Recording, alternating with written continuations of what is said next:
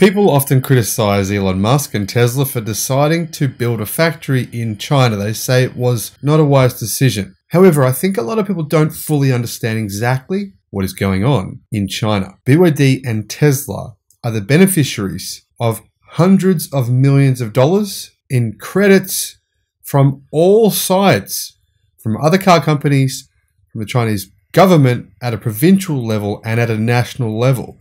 Now, this is how it works, and this is how Tesla and BYD stand to benefit potentially in the billions of dollars over the next three years, which will enable them to potentially crush their competition because the Chinese government is currently changing rules to benefit electric vehicle companies even more than they previously had done so.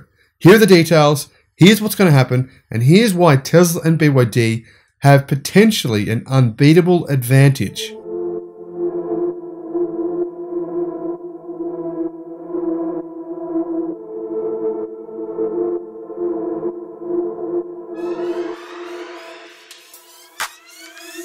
Hello, my friends. Welcome to the channel. I'm the Electric Viking. Great to see you. Welcome to all the new subscribers and welcome back everyone else. This week has been an amazing week. There's been so much happen in the electric battery world. Technology is just blowing my mind right now. I mean, making solid state potentially moot. Electric vehicles, Evergrande's latest EV, that thing, the Tesla Model Y competitor, amazing 25,000 US dollars if you buy one, you know, now or soon, put in a deposit of 10,000 RMB, which is like what, 1,400 US dollars. You get one for 25,000 US dollars. Comes with a 72 kilowatt hour lithium iron phosphate battery, probably give you about 500 kilometers of real world range. It's about the same size as the Model Y.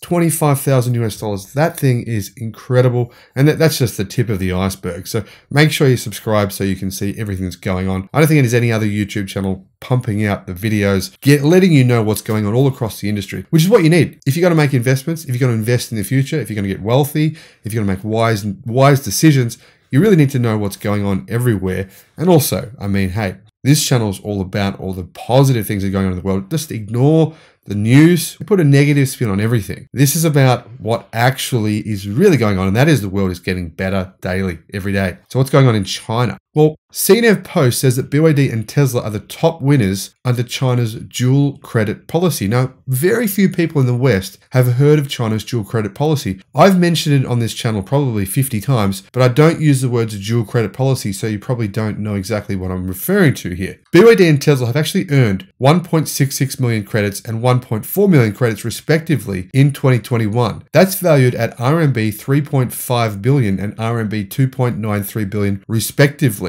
Now, the dual credit policy in China is one of the key forces driving the electrification transition of automakers in China. BYD and Tesla are the biggest players. So, therefore, they're the biggest beneficiaries. Now, as you know, right, we're just about to hit 30% of all vehicles sold in China as being electric. More vehicles that are electric are sold in China than the rest of the world combined this year and last year. Crazy, right? One of the key reasons for that is the Chinese government. They are pushing this. Don't get me wrong, I'm not pro Chinese government, but I'm just pointing out the reality here. They are pushing the adoption of electric cars in a way that probably no other country except Norway is doing. They are sponsoring this industry enormously. And one of the good things they're doing that the Australian government, for example, are not doing, and the US government mostly are not doing, is basically doing what Europe does, which is instituting a fine system for when you pollute too much. If you pollute too much, you have to pay fines. So companies in China actually pay Tesla, other vehicle companies pay Tesla for their credits, much as in the same way the system happens in Europe. Now, not many people mention this because you know investors are very, a lot of them are very anti-Tesla. I mean, when I when I say investors, I mean like you know seeking alpha they're very sensationalist. They want you to think that Tesla's business model sucks. But the truth is, part of their business model, part of the brilliance of it, and part of the reason that it was so intelligent for them to set up in China is because they knew they would be the beneficiary of hundreds of millions, potentially billions of dollars in these credits in much the way they the same way they've benefited from selling their electric cars in Europe. So, in 2021,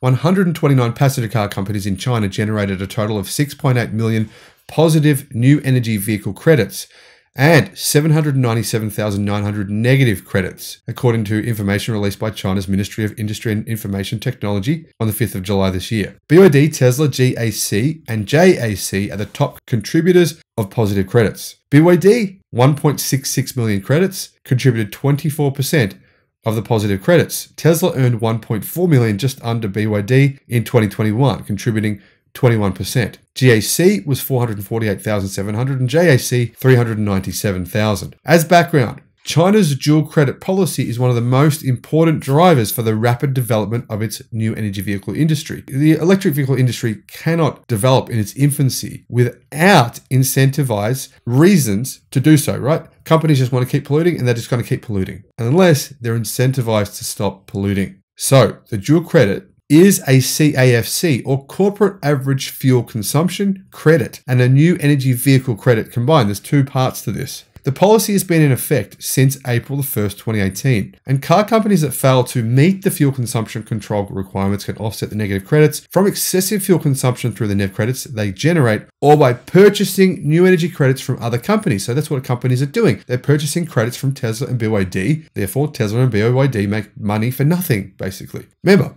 right? This was this was policy was instituted on the 1st of April 2018. What's happened to BYD since then, right? Been 4 years since that happened. And since then, BYD made a plan. They saw what was going to happen. They saw what the Chinese government wanted, and they wanted to work around this plan in order to basically dominate the market, which is what they've done. They've ramped up, and this has been a key driver in their ability to fund their ramping up. If a car company is unable to get their negatives credits to zero, then they need to submit a product adjustment plan to the MIIT and set a deadline for compliance. However, most of them prefer not to do this and they find it easier just to buy credits from other companies. So that's what they do. Before their negative credits are zeroed out, though, products with substandard fuel consumption cannot be sold to the public. And that's the worst case scenario. Build a whole bunch of cars, they sit out in the field or they sit in a car park and can't be sold, company is not meeting its emissions requirements. The quickest and easiest thing to do, go and buy the credits from BYD, Tesla, JAC, or, G, or any other car company. Obviously, BYD and Tesla make the most EVs and plug-in hybrids. Therefore, they have the most credits to be purchased by other car companies. The MIIT previously released information showing that the average transaction price of NEV credits in 2021 was RMB $2,088 or $312 per credit. That means that if BYD and Tesla sold all the credits they received last year, they would earn 3.5 billion RMB and 2.93 billion respectively. And that's a lot of money for nothing. Now, amidst this environment, here's some context to what's happening now. China has issued measures to expand electric vehicle consumption in the country. In addition to these measures, and they're hinting at an extension of NEV, New Energy Vehicle Purchase Tax Exemption. So not only these credits, right, are available for Tesla, BYD, and other electric car companies to sell to others, but also their vehicles qualify for a tax exemption. This is in addition to local state subsidies. So basically, electric cars in China usually are getting subsidized at three or four different levels, which means, right, that car companies are much more capable of developing new electric cars and focusing on this as the future of their product portfolio, moving away from internal combustion engine vehicles. 17 government departments, including China's Ministry of Commerce, jointly issued a notice yesterday that mentions support for new energy vehicle consumption and will study the extension of the NEV purchase tax exemption when it expires at the end of this year. This means that China's policies to support the auto industry, especially electric vehicles, are beginning to enter the implementation phase following a high level meeting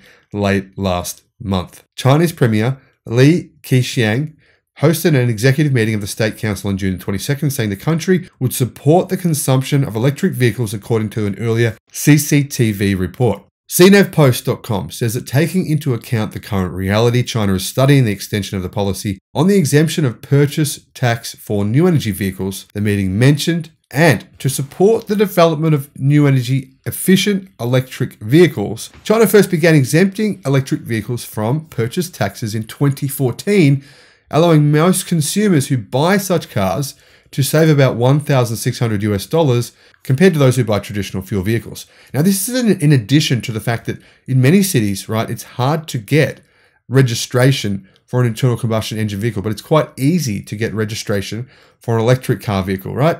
That's another way they're incentivizing electric vehicle adoption. So there's about six different measures being implemented in order for Chinese, the Chinese people to get away from polluting internal combustion engine vehicles and move as a country into a new, cleaner electric vehicle future. The policy originally expired at the end of 2017, but it was extended to the end of 2020, and in March of 2020, China renewed the policy until the end of 2022. I think as a result, a lot of shareholders are still not confident of investing in companies like NIO and Xpeng because they believe that some of these subsidies could expire at the end of this year. They won't. The notice issued today on measures to promote automobile circulation and expand automobile consumption, particularly electric cars, says that the automobile industry is a strategic and pillar industry of China's economy, and the move will further help stabilize the economic fundamentals and improve people's livelihoods. Basically, they're guaranteeing that these subsidies will continue next year. In addition to that, the Chinese government